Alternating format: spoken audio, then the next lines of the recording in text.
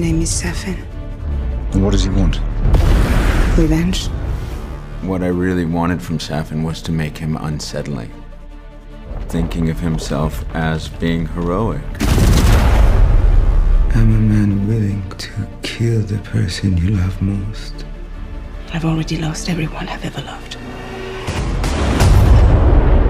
What he wants and what he's willing to do makes him a very frightening character, both personally to Bond, but also on a global level. We both eradicate people to make the world a better place. I just want to be a little tidier. Safin is a formidable adversary.